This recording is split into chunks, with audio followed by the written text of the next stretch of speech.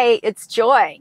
We are having a bit of a heat wave here in the LA area this weekend, and a lot of people have concerns with cabin overheat protection mode that it would drain your battery quite a bit. And so a lot of people are not using it. I decided to put it to test and find out just exactly how much cabin overheat protection will drain your battery. So today is Sunday and I go to church Sunday morning. My church is in another area where it's typically 10 to 15 degrees hotter than where I live.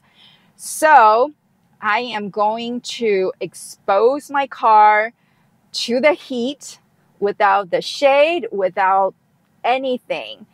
And I am going to set cabin overheat protection mode to the lowest setting, which is 90 degrees. If the interior reaches 90 degrees or above, then it will kick in. And we will see how much my battery will drain while sitting under the sun. And for your reference, before cabin overheat protection mode became available many years ago, sometimes my car interior, from what I remembered, would go up to 156 degrees, which is super hot. So I am very thankful that Tesla came out with this feature. So let's check out my test results. I'm at church now and it is 9:10 a.m. and it's already 82 degrees outside. I do have my windows tinted, but it's not super dark and the windshield also has a transparent UV film. I am not going to close the shade, so everything is as is.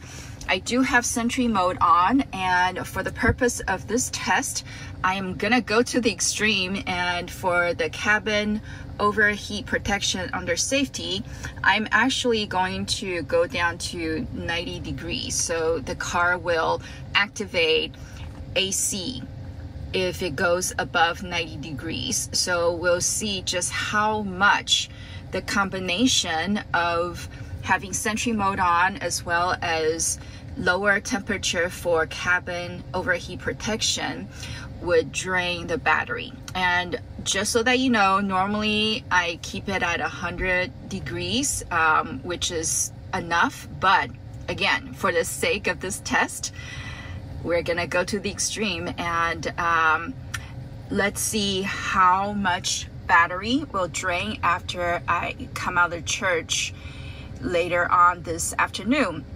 And right now, my battery is at uh, 32% and um, I will check in later.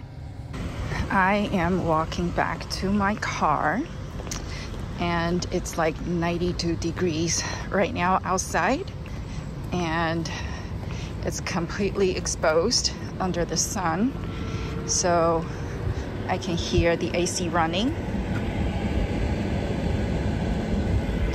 Now let's see.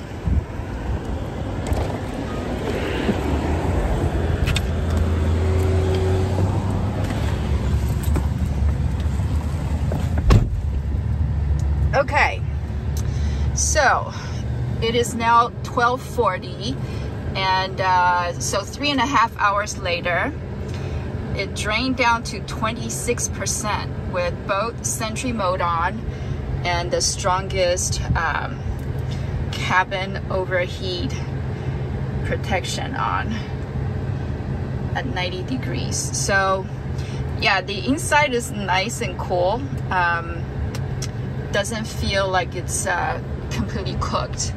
And I've had two Sentry mode events. So this is what you can expect. 6% uh, with both Sentry mode and cabin overheat protection on at 90 degrees.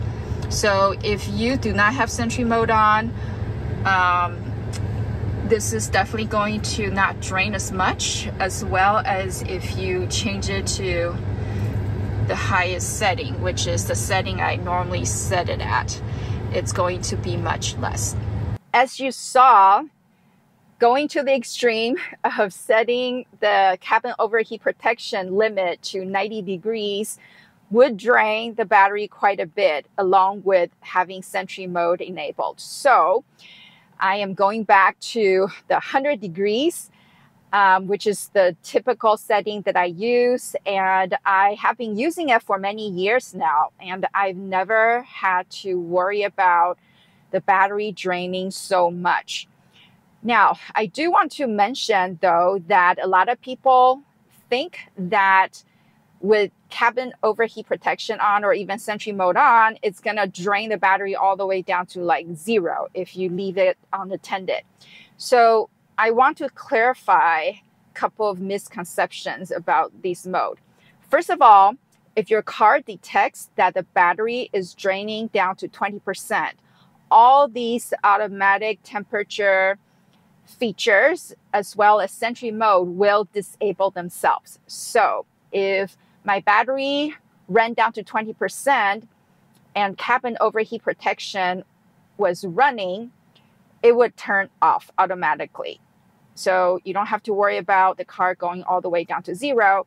Same thing with Sentry mode. If you leave Sentry mode on, once the battery drains down to 20%, the car will detect it and it's going to disable Sentry mode. So you don't have to worry about the battery draining all the way down to zero.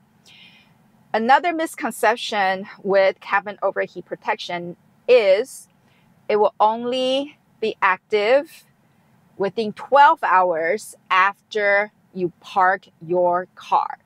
So, if you park your car overnight and the next day you're not driving and the heat comes out, your car will become super hot inside because cabin overheat protection mode will not kick in after you park your car for more than 12 hours. So again, you don't have to worry about if you're going on the trip, cabin overheat protection is on, that the battery is going to drain all the way down. I have left my car parked and unplugged when I went on um, multiple trips, even overseas trips for 32 days. You can watch the video here I'm linking. And I did not turn off cabin overheat protection mode and it's totally fine because it will only run within the first 12 hours that the car is idling.